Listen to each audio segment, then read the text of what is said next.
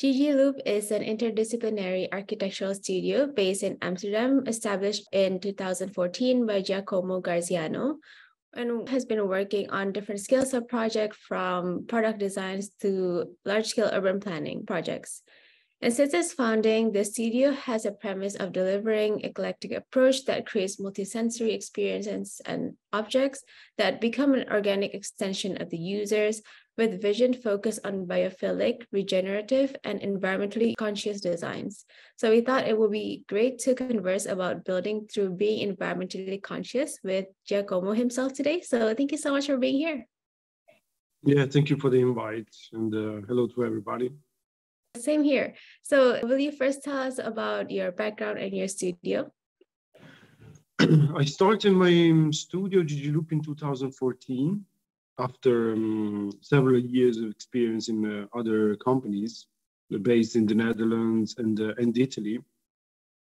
And in 2014 in Amsterdam, I started, um, I started my company with the idea to develop uh, designs and architectures that could be somehow more connected to the principles I was uh, already starting before uh, start uh, opening my studio. That means the relation with space between space and sound, the relation between uh, space, architecture, and environment, environment at large, and then um, so that's that's 2014 and this last year 2022 we started uh, we opened a studio also in milan italy. And i also um, yeah we are expanding through europe still not uh, not outside of europe yet. But even though our projects are now uh, developing also abroad outside of europe. So um, and um, yeah that's basically the background of the of the company. And um, yeah my myself i've been working uh, as i said internationally but based in the netherlands and italy mostly. And um, and um, i've been studying music before. So that's that's a very integral part of my um, inspiration and design process in general I always look at music, uh, look for references. Um, it's not only uh, you know inspirational, but uh, it's becoming very concrete and very scientific. The relation between uh, you know music architecture through mathematics, biology, um, quantum physics, and uh, and so on. It's a pretty complex topic, but uh, we're getting there. that sounds great. So now I'm super curious about how you how would you describe your design approach and what inspired it? Maybe like how music can become also something that's environmentally driven. Yeah, I think the relation stands um, stands in the, the idea that everything is vibrating as it happens in in music, and everything is connected.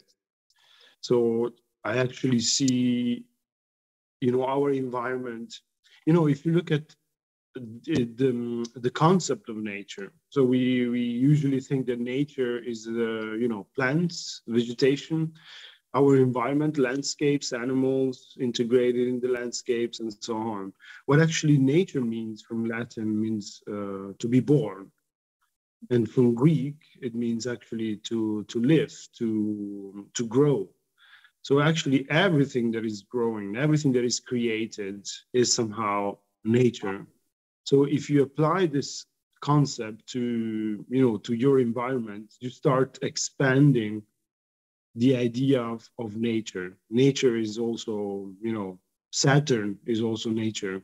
The universe in, in the totality of the universe is nature. So um, what we aim with our um, with our design, with our architecture, is to to raise consciousness uh, about this topic and uh, the consequence of having a larger perspective over uh, over our environment actually makes you um, let's say um, it, it, makes you uh, automatically more inclined to be respectful for your you know for your direct environment be nature as we we see today nature nature well our planet but also you know at large, thinking uh, you know with the um, with the James Webb uh, Space Telescope, we are exploring uh, the space as we have never done before. We see much further and much more um, crystal clear than we have ever done before. We are becoming somehow an intergalactic uh, species. So um, we have to start thinking that you know our base, our planet, is very important. We have to treat it as a as our home. We can't really only look at our you know living rooms and bedrooms, our direct spaces we inhabit as our home. Our planet is currently our home. Maybe in, you know in 2,000 years, uh, the solar system will be our our home. Hmm. I don't know if that answers your okay. question, but um, yeah, we were you were mentioning biophilia. Actually, this is the um, let's say the drive behind our um, the application of uh, the biophilic approach in our design and architecture, because bio, you know, means nature. And philia means love, attraction, affiliation to nature and living systems. So it basically means to love everything. so we are actually sharing um, a very important message of uh, love, trust to towards the environment, towards people, towards uh, the planet, the universe, and everything. Yeah, it's all interconnected. Yeah, exactly. You know, quantum physics is uh, now you know scientifically explaining how how we are all connected. is to think about it, actually 90 per, 99% of the atom is uh, is not really known it's like empty space uh, for us you start looking at ourselves our tables our cats everything that, that is around it made out of just 0.0001 percent of matter and it's all the same everywhere if you look at the microscopic level we are not that different than the elements of uh, that we can find in space or uh, in nature. It's hydrogen, you know, it's very basic elements. The whole uh, the whole creation is made out of. Mm. Yeah. So we are we are actually really connected. Everything is connected. Yeah. So, on that regard, what do we need to know about embracing organic architecture, maybe as a response to the awareness of our consciousness towards the environment? And how can it shape our further appreciation and harmony towards the built and the natural environment as well? Yeah i think the key stands uh, in the um, in the idea in the realization that uh, that we have to start from our environment to build the places where we live the places where we see exhibitions the places where we worship our gods or anything that we create, we have to start from nature. We have to actually look at how nature would do these things for us. So we uh, automatically do not impose ourselves over nature, but we collaborate with nature. I think there are very, very nice examples of this in a very, um, uh, if you, yeah, in, in a very raw uh, way in Indonesia. There are um, there are bridges in India as well. Actually, there are bridges built out of um, tree roots. Mm-hmm. And so while the tree the trees keep on growing, they're actually serving people to cross uh, to cross the river. So we are not actually cutting the trees in order to build a bridge, but we are using nature uh, structurally, functionally to serve our cause that in that specific case is to cross the bridge. But if you expand this, uh, this idea, then automatically our choices will be driven by, by this uh, respectfulness uh, towards, towards nature. Nature, as I described it before, not only plants and trees and, um, and, and animals, but everything. Hmm. So um, to go more in detail about your question, I think at the moment you apply this principle to your lifestyle, basically, then automatically you increase, you elevate your uh, consciousness, your awareness of the built environment, because you know the clients we have, they approach us because they want this specific approach from us. Hmm. So, um, and we see that this is happening more and more. We, our, you know, our uh, clients' portfolio is is expanding because you know this is what we're doing and people are looking for this kind of uh, you know new relationship with nature or actually it's rediscovered relationship with nature because you know we we come from there we come from we lost in the you know with industrial um, revolution we lost this deep connection that we had uh, with nature again thinking about nature as we in, um, integrated in nature we are not distant from nature we are actually really embedded in it. So the organic architecture comes, uh, you know, as a natural answer from from the elements. So basically, you know, we use biomimicry principles in our in our designs exactly because we imagine what nature, how nature will solve this design uh, problem. So by looking at nature, we uh, we assume that this, you know, using also mathematical principles that nature itself uses to create, we create natural environments where, you know, not only people, but, you know, environment and nature at large could coexist in, um, you know, a harmonious, as you mentioned, uh, and this is when um, probably music comes in.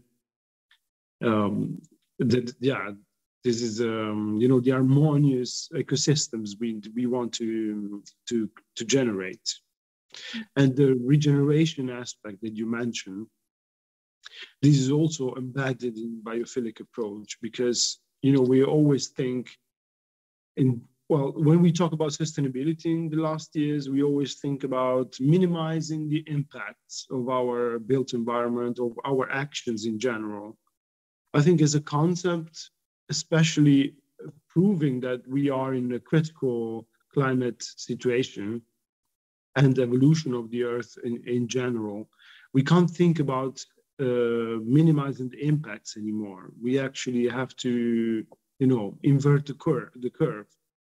So we, everything that we do must have a positive impact on the um, on the environment. We for everything, for every action we take, uh, during our day, we always should think, okay, is this beneficial for for myself, for my peers, for uh, my family, for my environment and nature and space and and everything that is contained in what I call nature.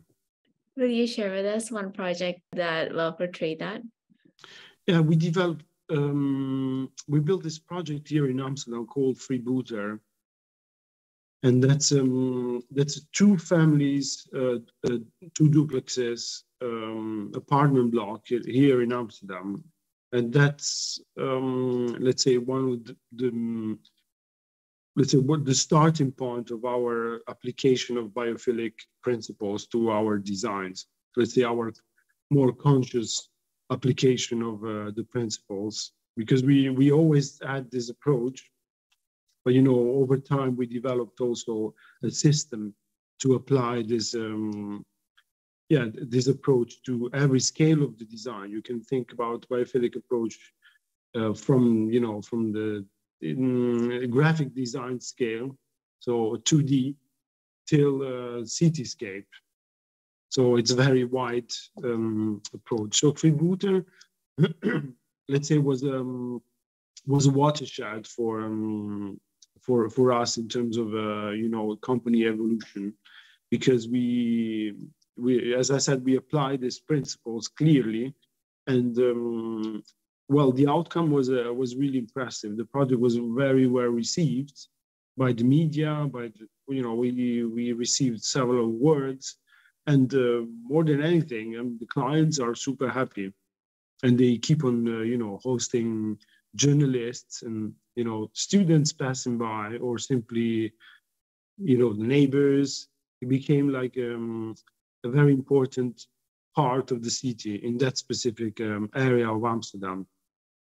So based on this idea, uh, on the principles that we applied with Freebooter, which is actually uh, also bio-based uh, materials uh, construction, that means it's a CLT, and see it's timber basically. And timber is uh, one of the few uh, construction materials that actually sequesters co2 so um, in that terms you know what i was describing before uh, not about min minimizing the impacts but actually creating regenerating an area by you know having um, having a positive uh, ecological uh, footprint we applied all these principles uh, in, um, in a modular and parametric system that is called mitosis.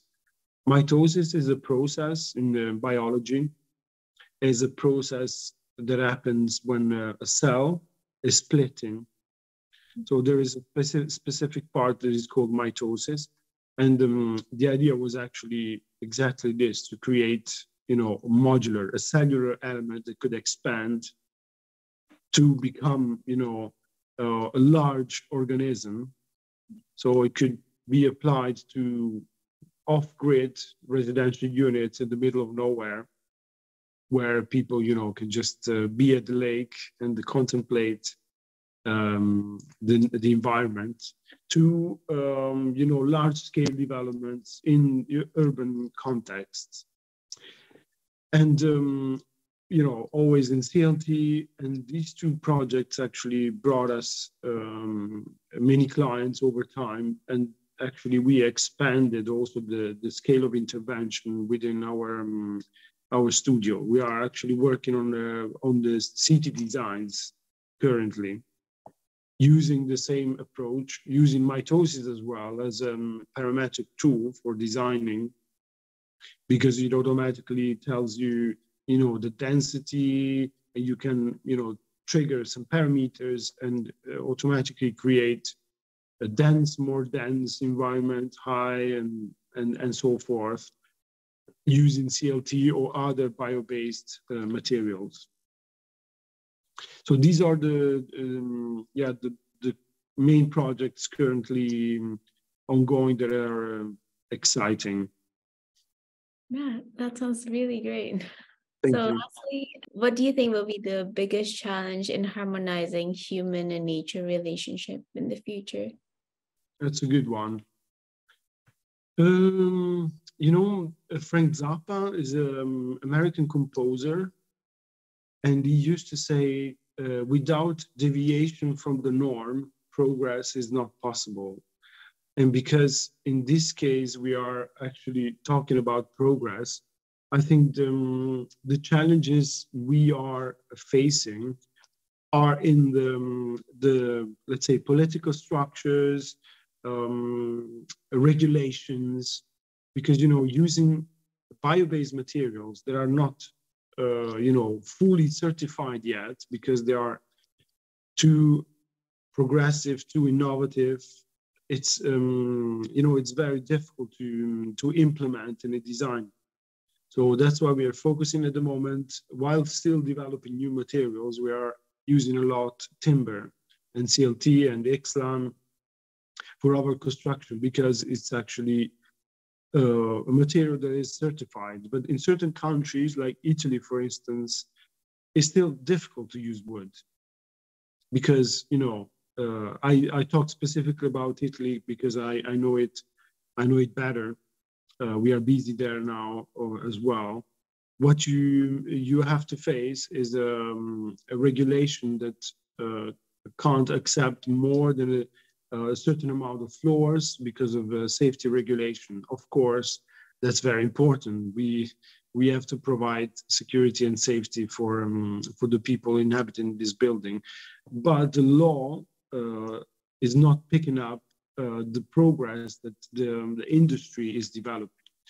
So, um, and also on a governmental, um, let's say, a scale, this is also uh, a challenge. You know, we have to, I think we are living in a very interesting uh, time of our evolution where we are actually questioning a lot of systems that we are using financial systems, uh, governmental system, political systems, and so on.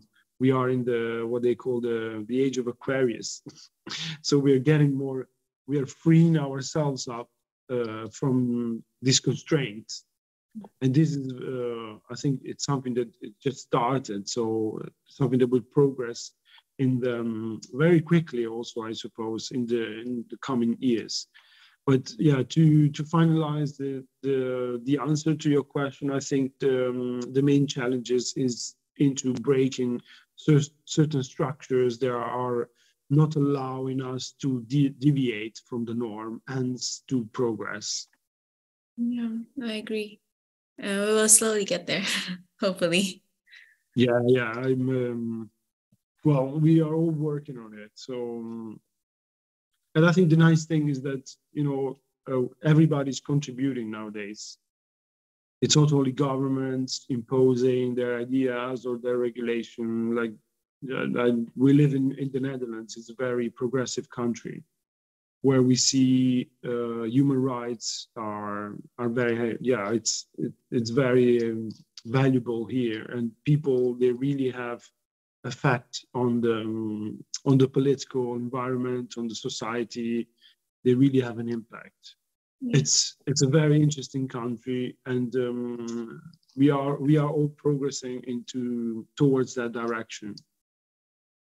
I know certain countries that have much more difficulties than the Netherlands, obviously. I'm aware of that. But you know, the moment someone is pulling, you know, it's elevating the consciousness of uh, of the whole planet, then um, all the other countries will adapt to that because that's what people want.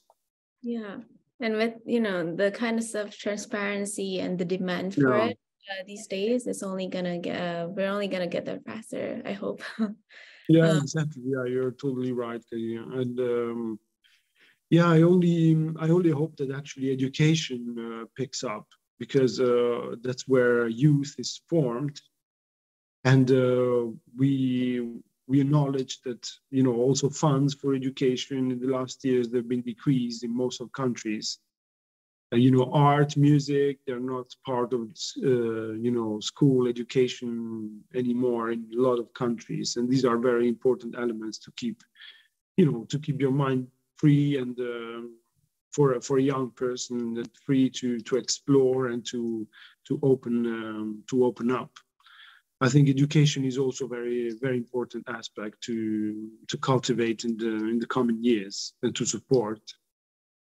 Yeah, yeah. So actually, I'm, I'm really happy when I have to do this when I when I'm asked to do these interviews because uh, this is also very educational. So um, it's not let's say the standard as we discussed before. You know the governmental education that comes from uh, you know the the, um, the national uh, public institutions, but it's something that everybody is um, is nurturing. Let's say these days you know, discussing, sharing ideas, implementing, implementing them in design, in life, and, and everything is very important.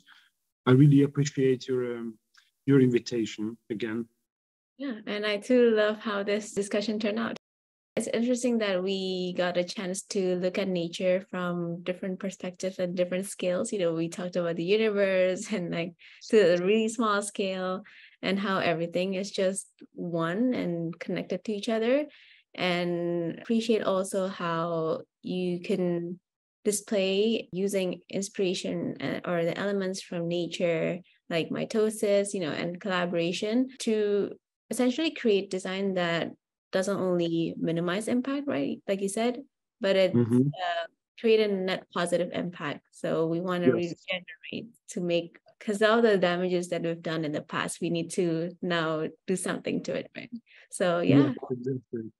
Hmm. Thank you so much, Giacomo, for today. Yeah, thank you, yeah, thank you.